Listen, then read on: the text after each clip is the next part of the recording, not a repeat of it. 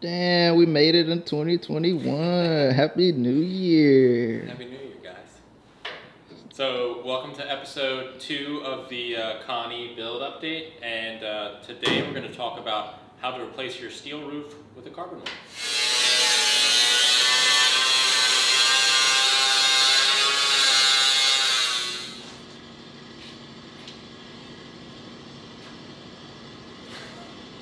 Phase one. Phase one, phase two. Oh, yeah. I don't know. Um, so before we even get started, just a quick update as to where we are on the car. Um, we took all of his flares and fixed them up. They had a bunch of cracks and other small weird things going on with them. Um, reprimed them all. They're all super straight, so they're ready to make molds and everything. But we might be going a different way before I even do all that. So I might be doing that again. But um, we got the interior uh, all sprayed. It's just like a matte black. He's gonna cover most of it with an interior anyways, except for like the roll cage and the inside of the roof will still be seen carbon. Um, we've satin cleared our roof and the bottom half of it has been worked a good bit and primered. The black stuff you see on there is just guide coat for the primer when I sand it back off. Um, so now we're just going to jump into our first step, which is going to be cutting the metal skin off. Um, I just noted the line I'm going to be cutting after measuring inside because there's like little windows where you can see inside. So Okay. I can actually get away with a little bit more metal to bond to, which will make it a little stronger. Once we cut the outside perimeter of this, there's actually a beam that goes through the center that has like this foam insulated uh, expanding foam stuff. Um, so we're like either just rip it off or do whatever, but we actually have more of that here because we do body panel replacements all the time. Like when you replace a quarter or a roof, you have to put the same stuff on or like a door skin on a car. Oh, okay. So um, just in our regular body shop world stuff, we use it all the time. So we're probably gonna have to reuse that stuff. We'll see once we take it off what's actually under there. But Yeah, I'll say this is a popular. yeah, because we didn't really go over that in that much detail when we did my car. Nah. So and it was like months and months later. Yeah. Yeah. We was learning as we went. yeah.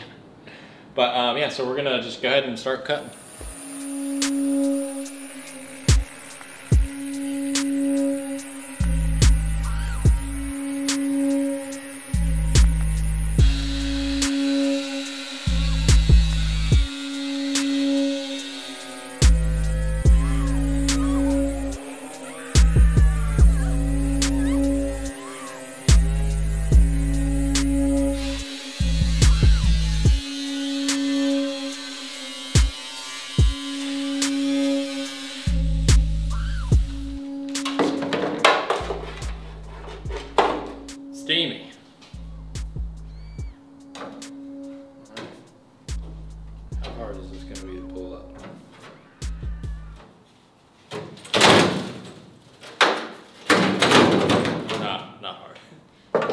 Hard. She's heavy.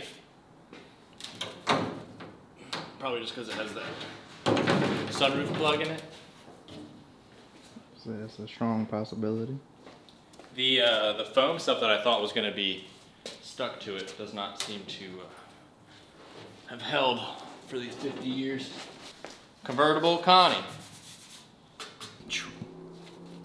All right, Bill Nye. Um, cool. So now we have the perimeter left that we're actually going to glue to. I actually, when I was uh, sanding this, the roof actually flat, um, I screwed it down in a couple places.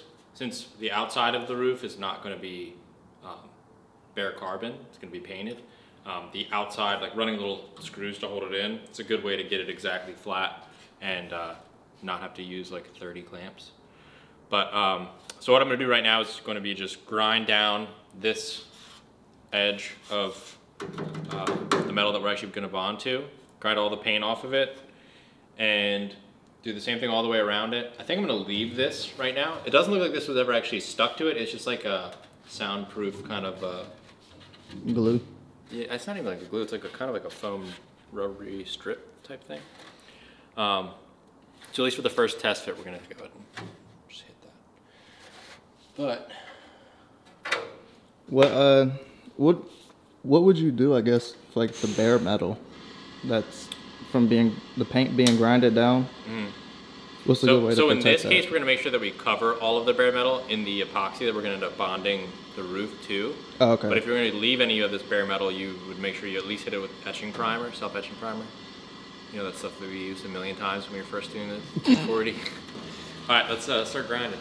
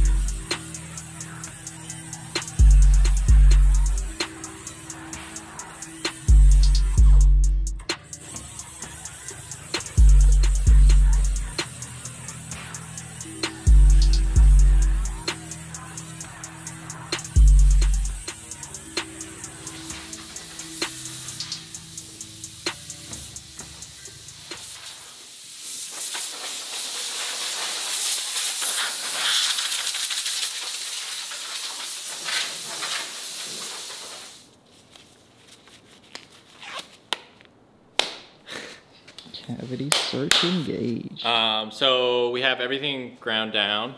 It's all bare metal. And we're going to be using 3M's Scotch Weld DP 420. DP, it's for you, Dave. 420 Blazer Bro and black. wow. no, but seriously, uh, I've never used uh, this stuff before, but um, I usually use the Norton stuff. That's what I use on my roof. But looking into this stuff, it actually seems to be a lot stronger than the Norton stuff that I've been using. At least that's what I've heard on the forums and stuff like that. So we're gonna go ahead and test it because I want Connie to be perfect. So all I'm gonna do is I'm just gonna squeegee a bunch of this out on this whole thing. And I'm gonna come back around with the acid brush and make sure I get all of the bare metal. So I'm guessing this helps like uh secure the metal so it doesn't rust. Is that why you're squeegeeing it? So you're treating it like kind of like paint? Uh, well, so its its primary use obviously is to, to it's like a adhesive to glue like the two pieces together, but it is a mechanical bond, not an actual adhesive bond. So that's why you need to make sure that the surface is scratched, Okay. uh, which is why we have the inside of the roof scratched as well. But the uh, the second point of making sure you're covering everything is, yeah, it's not going to rust or anything if everything is covered in the actual epoxy. So that's why you want to make sure you don't have any bare metal because, I mean, we hate rust, but Canada? the Canadians, they really hate rust. Just, just ask Pete and Dave. Whenever they're like bragging about a car they found, it's because it's rust free. Which I can definitely appreciate. I mean, here in Maryland, we do get some salt on the streets, but I don't, I doubt it's anywhere as bad as up there in Canada.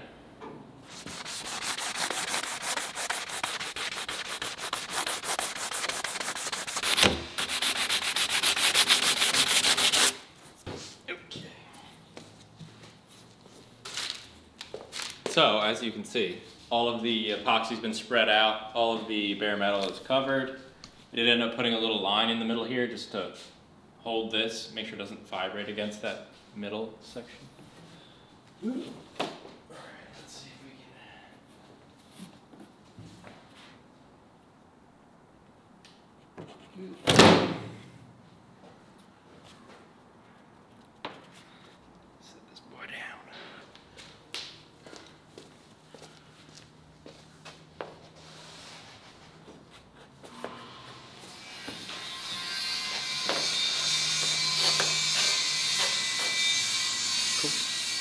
Okay, so I ran these little screws through the holes I already had. Then I might run one in each side and use the rest of the clamps. Another Futurama character. Zoidberg? Zoidberg has claws, but there's a there's a robot. There's a stabbing robot, and then there's the clamp robot. It's like, I'll give him the clamps or something. like that. The one dude that has Zoidberg as his icon that follows us in comments, Mm. you know he know. Isn't his name on YouTube actually like Dr. Zoidberg or something? Possibly. Upon securing your roof, one must admire the work you have put in. Gotta save Dave. Send Dave some pictures. Alright, so doesn't really look like we did too much today because it pretty much looks like we have the same thing, but it's now sprayed with gray. But this is a carbon roof now. It's probably 10, 12 pounds lighter than the steel one, especially with that sunroof hole plugged and all the mud we had to put on it to reshape it. Um, we actually never weighed the the carbon fiber roof, but I remember my roof on my 240Z was around was around like six pounds or something like that, seven pounds. Yeah. And then my my roof ended up being 18 pounds. We actually have his roof. We can still.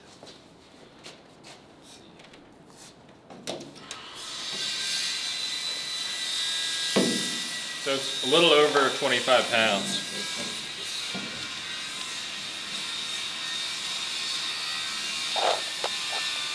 But again, if this was, this was a non-sunroof car and didn't have this welded in piece and all the body, body filler, it would probably be a couple pounds, maybe 20 pounds. Yeah. Um, the body filler doesn't weigh that much, but. So I, I'd say we probably, safely, we probably saved 14, 15 pounds. Ooh, so now that we made it into the new year, I guess we should go ahead and give a clue to the build that's to come. Ooh, the new build? Okay. So the only two hints I'm gonna give you are it's an American car with an American power plant. Go ahead, comment below what you think it is. If you do guess it, I will let you know. I'll privately DM you or just comment back. But I, you're not gonna guess it. I'm like 99.9% sure nobody's gonna guess it. There's no way. Okay, so that's how you bond on a carbon fiber roof. Uh, the next bit for Connie Celica is going to be uh, actually blending this out and then painting the whole car. So you get to see the actual color that Dave chose in the next Connie update. Um, like always, thank you for everybody. Uh, like the only reason we can get to this point is because everybody's you know supporting us with shirts and stuff like that. So if you bought a shirt, we really appreciate it, especially over Hell the yeah. holiday season and stuff like that. And also for anyone that just subscribes, if you don't have the money to buy a shirt or you don't want a shirt, that's fine. Thank you for subscribing.